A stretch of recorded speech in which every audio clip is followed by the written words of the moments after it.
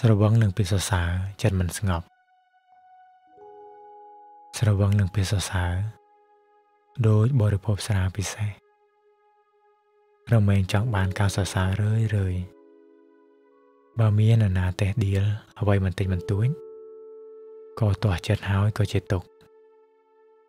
នៅពេលដែលស្រវឹងហើយក៏មិនងាយនឹងដឹងថា ពាក្យសរសើរណាល្មម ពាក្យសរសើរណាមិនឡំពាក្យសរសើរណាពិតដោយចំពោះណាស់នោះ គឺអ្នកស្ថិតនៅក្នុងឋានៈខ្ពស់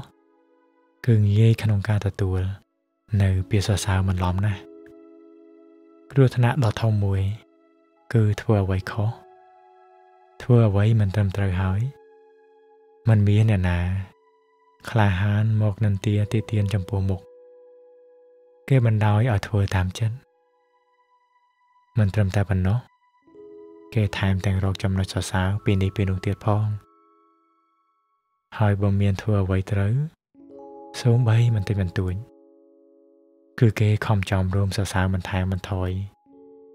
រហូតដល់អ្នកដែលទទួលបាននៅការសរសើរមានការយល់ខុសថា ខ្លួនជាមនុស្សគួរបានទទួលតែការសរសើរតែម្យ៉ាងប៉ុណ្ណោះมันគួរមានអ្នកណាមកតែទៀតឡើយ យ៉ាងនេះប្រៀបដូចជាក្មេងដែលចូលចិត្តតែរបបផ្អែមៗ